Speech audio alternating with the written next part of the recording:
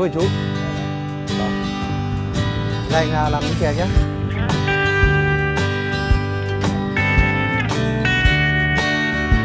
Ừ, chè ngon đấy nhờ. Thật thơm. Vâng, chị cảm ơn cô. Dạ. Nãy giờ nói chuyện mà không quên hỏi tên chú. Chú là chú Hương. Cô, cô Nguyệt à? Hôm nay đến đây để gặp à, chú Hương với cô Nguyệt. Ở đây để chú Hương cô Nguyệt giới thiệu cho. Vùng chè mình ấy chú. À, Chú Hương ơi, cái vùng chè mình ở đây ấy thì à, nó đã à, Người ta lập cái vùng chè này lâu chưa chú? Từ năm 58 rồi. Tức là bây giờ là khoảng 60 mấy năm rồi. À. Rồi. Vậy thì từ đây ở cái nông trường chè này đã được uh, tổng cộng là 65 năm 62 năm. Wow Rất là lâu rồi đấy chứ. Cháu mời chú nhá. Uống nước chè và làm một thanh cậu ờ, kẹo lạc thì tuyệt vời luôn nha các bạn. Rất là hợp vị. À, Bây giờ chúng cháu uh, đi tham quan một vòng nhá. Rồi lát nữa cháu lại quay lại đây uh, trò chuyện chú nhá.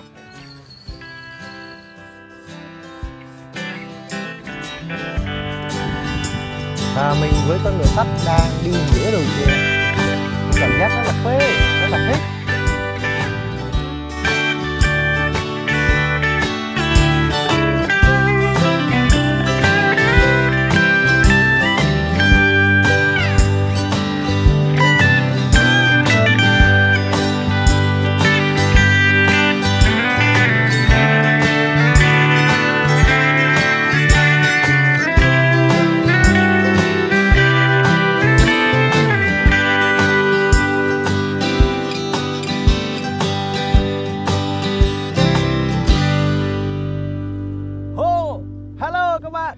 Vâng, VTA à, đang đứng giữa một đôi tre bát gan tre Trời ơi nó rộng ơi là rộng luôn các bạn ơi Và các bạn biết không Đây những cái búp chè non như thế này này các bạn này Sẽ được thu hoạch để mà tạo thành những cái à, để để mà sao lên rồi chế biến thành những cái món chè rất là ngon các bạn ạ.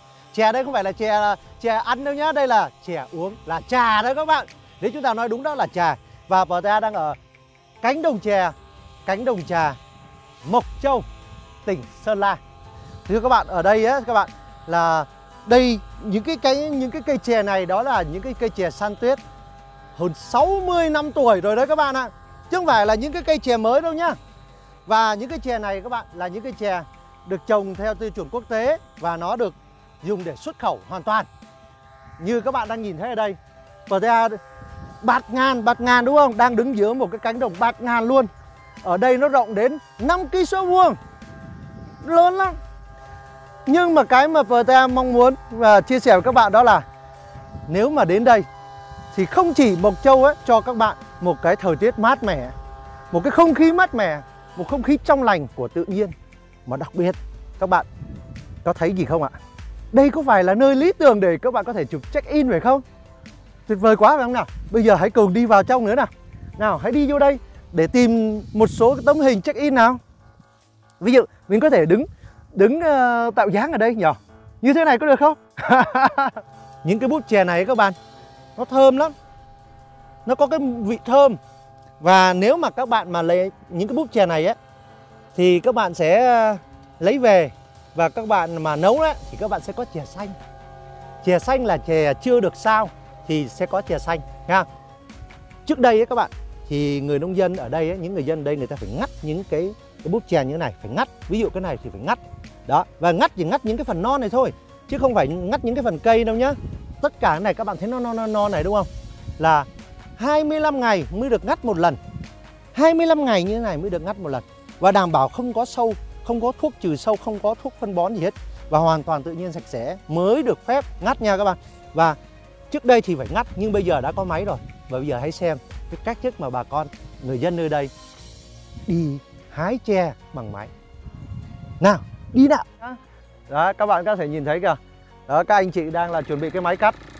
Đó để mà cắt chè chè từ cái máy cắt đó đó nó sẽ đi uh, hai người phía trước sẽ nâng cái máy cắt và rồi đưa lên trên cái luống chè và từ đó thì sẽ có một cái ở trong đấy nó có một cái quạt á nó thổi về cái bao kia. Và tất cả chè được cắt các lá chè non được cắt sẽ được đưa vào cái bao đó. Và từ cái bao này á thì sẽ có hai cái anh ở phía sau. Đó các anh ở phía sau á các anh sẽ mang cái bao chè đó đi về cái điểm tập kết nha. Sau khi mà bây giờ uh, chè được cắt xong á thì sẽ được gom lại đây và được bó lại thành những cái uh, bó như thế này. Và để lát nữa sẽ có xe đến đây và đổ lên xe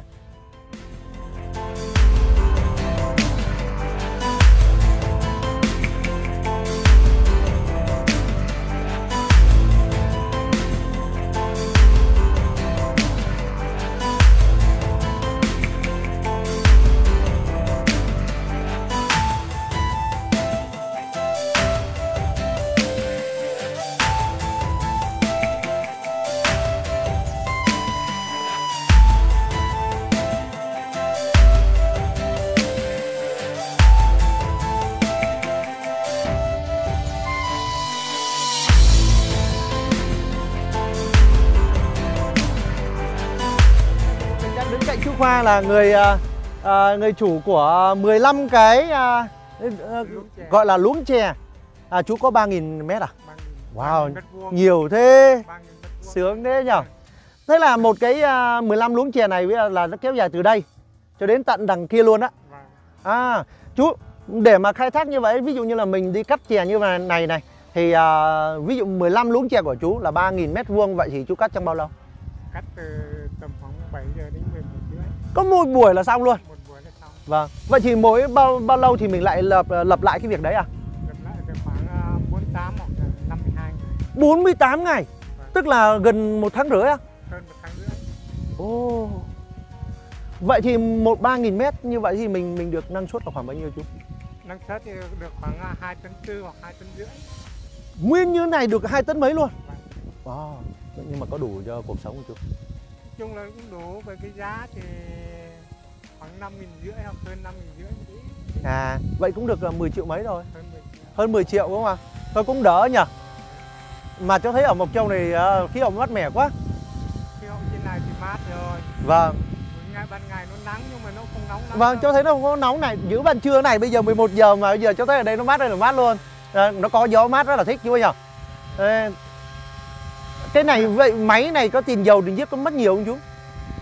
tiền dầu thì mình thuê, thuê người ta cắt thôi chắc hết ít rồi À đây là mình thuê người ta luôn. Tất mình- tất cả đây mình thuê có mất nhiều công không chú? đấy từ sáng đến trưa thì người ta không biết công là giá bao nhiêu đấy mình không rõ À thế à? À tóm lại là sẽ người ta sẽ ờ, tính công mình chắc có hết vài trăm triệu đấy nhở? Không mình thì thuê người ta cắt có nghĩa là một nghìn một cân À cứ tính là một nghìn một cân thôi. Là Và được bao nhiêu thì sẽ là mình Còn tính kia cân. là chủ máy thì người ta À. giá cho người làm thuê chẳng hạn À rồi để cho hiểu rồi. còn chú- là có lô chè thì người ta đến người ta cắt thì mình giá một nghìn một cân À cho hiểu ý có nghĩa là ngày hôm nay người ta cắt được hai tấn tư thì mất mình giá hai triệu tư À đấy còn là cái, như vậy. cái hai triệu tư kia thì chủ máy người ta Người cắt, ta làm như nào đó là việc của người ta. người ta giá cho công người thuê cắt thì lại khác À cháu hiểu rồi. Vậy cũng được. Thôi ờ, mỗi người một ít nha. Chứ nha. Thôi cũng ờ, như thế thì Uầy, ờ, cháu thấy nếu mà vậy thì chú sao chú không mở rộng ra? bây rộng thì cái chè này là, là chè có công ty À đấy chè có công ty chứ không phải chè của tư nhân mình, Vâng. mình làm thì mình mình chăm bón mình cắt bút tươi mình À. bán lại cho công ty thôi chứ À. gốc cây chè là của công ty À, gốc cây chè là của công ty luôn chứ Đấy. Hoàn toàn là không phải của mình. Không phải của mình. Ờ, vậy, vậy thì tất cả mọi cái việc chăm sóc này kia đều phải theo cái tiêu- chuẩn của công ty à? Tiêu chuẩn của công ty. À cháu hiểu ý rồi. Làm tiêu chuẩn của công ty người, Dạ. người ta làm. Dạ cháu hiểu. À, làm theo kiểu Việt Gáp đấy. À vâng. Ừ, hay quá nhờ. Cái, cái suất chè này á, ví dụ là mỗi công nhân Dạ. vào nhà máy thì là, là, là, là ta giao cho là ba nghìn chè chẳng hạn. Mỗi một công nhân là là, là được ba nghìn chè. Ơ vậy là chú là công nhân của chú nhà không, máy? không phải là công nhân chú lên là chú chỉ mua lại của người ta chuyển nhượng cho mình. à cháu hiểu rồi. À và vậy vậy thì ở đây ơ nhưng mà mình có cái đất này á thì bây giờ là đất mình mua lại hay là đất mình thuê lại? Đất là mình thuê lại chứ. À thuê lại à. bây giờ mình mua lại mua lại của người khác nhưng mà cái gốc chè vẫn là của công vẫn là ty. của công ty cháu hiểu rồi. Tức là cứ giao cho bằng đó người chăm sóc đó. Đấy, đó và bạn chăm sóc được như vậy thì công ty sẽ chia lại bạn bằng cách là mua lại cái chè như thế đó. vâng rồi chú cảm ơn chú Khoa nhiều nhá đã chia sẻ cho ông cháu nhiều cái thông tin rất là bổ ích. Cảm ơn thầy chú cái dạ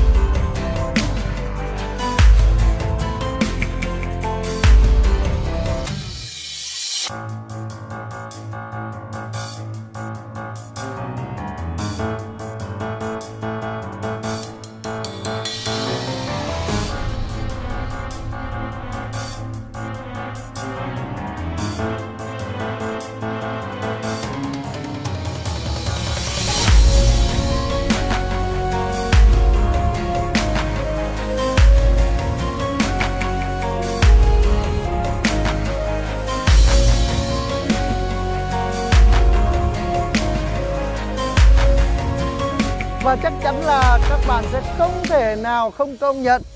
Mộc Châu là một cái nơi rất là tuyệt vời. Và đặc biệt hơn nữa là những cánh đồng chè này là một địa điểm tuyệt vời để cho bạn có thể không chỉ là check in mà đến đây có thể hít được những không khí trong lành và rất là mát mẻ, phải không nào? Nếu các bạn là người dân Sơn La đặc biệt là các bạn đang ở Mộc Châu, các bạn hãy tự hào về điều đó bằng cách là các bạn hãy chia sẻ video clip này đến cho thật là nhiều người nhé các bạn. Hãy để cho rất nhiều người thật nhiều người trên cả cái đất nước Việt Nam này cũng như là trên toàn thế giới biết đến Mộc Châu biết đến Sơn La của các bạn đi các bạn. Và đừng quên rằng là chúng ta hãy like cái video clip này và comment cái ý kiến của các bạn nhé. Và cuối cùng là đừng quên subscribe kênh và nhấn vào biểu tượng chuông để đón chờ những video clip tiếp theo. Xin chào và hẹn gặp lại các bạn. Bye bye Xin chào chú vâng hẹn gặp lại chú ạ Rồi, chào chị chào anh nhá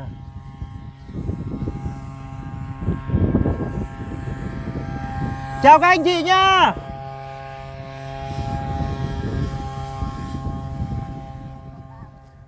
cô à cô đang làm gì đây Cô đang cắt cái tỏi này. Ôi, thích ngâm rượu, Vâng, ô, ngâm rượu bằng tỏi đấy à? ngâm rượu uống chữa xương khớp ấy.